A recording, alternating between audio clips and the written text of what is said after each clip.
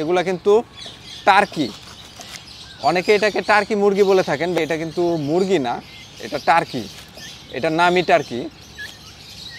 তো এটাকে মুরগি বলা আসলে ঠিক হবে না।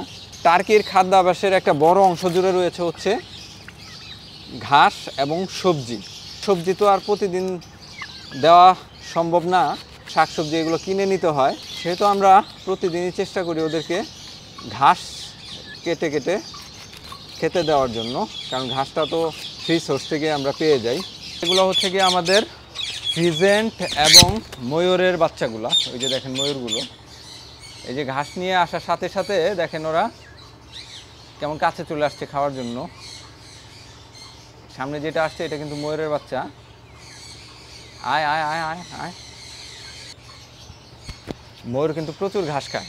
এই যে দেখেন।